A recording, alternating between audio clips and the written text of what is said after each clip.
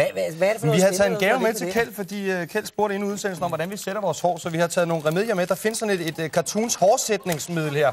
Aha. Og det er altså, hvordan man laver min, på, uh, min, min frisyr her. Og der er sådan en lille, en lille sådan en, hvordan du laver den. Ikke? Du skal ja. først komme det her i dit hår sammen med noget husblas og røre det op i noget vand. Så skal du, det skal måske være lidt længere, jeg ved ikke. Men never mind, så sætter du den her der.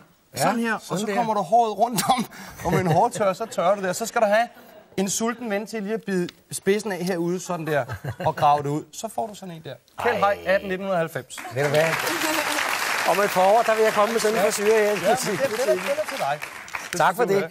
Nu, nu er du der, det er jo sådan rimelig nemt at forstå. At, er det sådan med henblik på, øh, på andre steder end Danmark, I har, I har lavet den? Har I tænkt lidt på, på udlandet, at man skal kunne den? Altså lad os sige, der er ikke noget i teksten, der direkte er svært. Mm. Så må ikke, at, mange selv svensker kunne følge med i det også eventuelt. Vi håber der meget. Vi kan jo håbe nu på, at der, det ikke svært i hvert der er fald. svensker, der, der sidder og ser programmet. Man ved jo aldrig.